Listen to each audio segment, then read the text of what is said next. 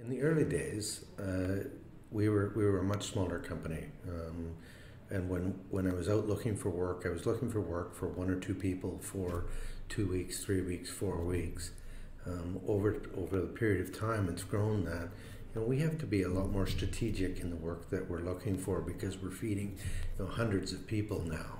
Uh, as a result of that, um, certainly vision uh, in the early days was about you know making sure that we were sustainable that that particular piece of vision hasn't changed, but all of the strategies to support the vision uh, have had to change. Um, so, uh, really, uh, the fundamentals of, of you know making sure that every single day uh, we're providing you know stimulating opportunities for our team that, that has not changed one iota.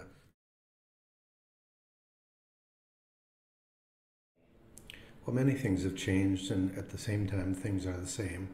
Uh, one of the very consistent things is the desire and the passion, frankly, for uh, providing opportunities for for our team. Um, the the thing that's very different is the size of the team uh, that we're providing opportunities for. We need to be a lot more strategic today and a lot uh, further in our thinking about how we're going to um, be able to attract uh, larger opportunities that, that require larger teams to deliver on them than in the early days. When really you know, we were looking for work that would last for one or two people for one or two weeks to a month. Um, today, we need work that, that supports 50 people for many months. Um, and, you know, the, the, the, strategy that goes along with that, as well as the back uh, end of the house to be able to deliver on that, is a lot bigger. Um, but at the end of it, the core of it, uh, the vision to provide opportunity to people is exactly the same today.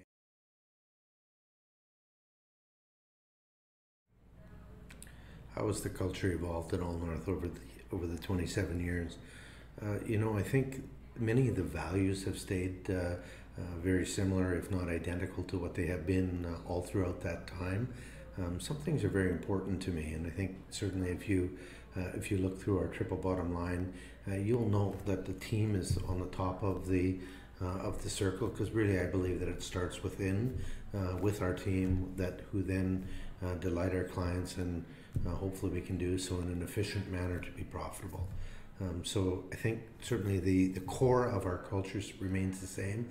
I think the things that are, I guess, nuanced uh, over time is uh, we've gotten certainly I would call it more professional um, in the delivery of uh, of the business, and we've had to. The uh, the size of the team has grown, uh, the diversity of our team has grown substantively. Uh, both of things, both of those things have made us uh, better. Um, you know, there are things that are uh, a little bit more, uh, or maybe better described, a little bit less uh, fluid uh, and a little bit more structured.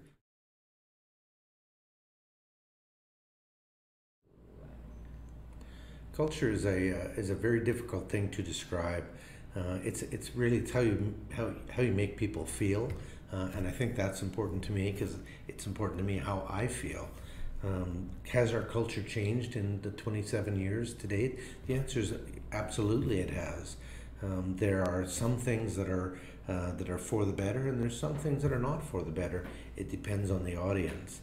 I think really the uh, the, the baseline of our culture is is our triple bottom line, and that's something that actually hasn't changed uh, all that much. It's the delivery that uh, that has. As we've gotten to be a larger enterprise, we've had to have more structure. Um, so there's a little more hierarchy today than there certainly was in the very early days when we were uh, absolutely, you know, a flat organization. We've got we've got more structure uh, to deliver uh, that same culture that we've been trying to deliver for forever.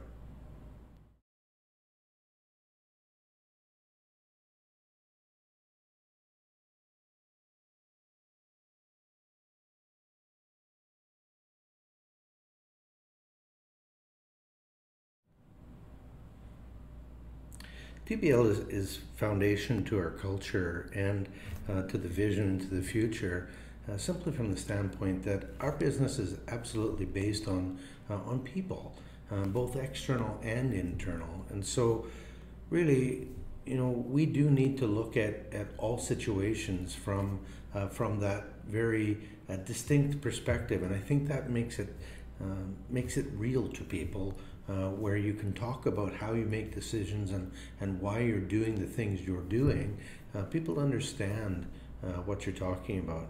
It's very personal to me. Uh, this business is very personal to me uh, because it's dealing with people. Uh, and, and, you know, we've been so fortunate over the years to have so many good people, one of which was a, he would be our first CFO. His name is Gary Ray. Gary Gary's a very structured individual. I am not. Uh, I'm fluid, and I, uh, I, I would like to describe myself as entrepreneurial. Uh, and sometimes uh, structured and entrepreneurial are are at opposite ends of the spectrum. Uh, so Gary is very good at at discerning what I wanted as a culture and putting it into triple bottom line, coupled with people like Peter Drucker, who a management expert on how you structure companies. And so I think it's foundational from the standpoint that I think it can stand the test of time on how we do things. And uh, I think it's important to provide consistency uh, and relatable things that people can understand why you're, why you're doing what you're doing.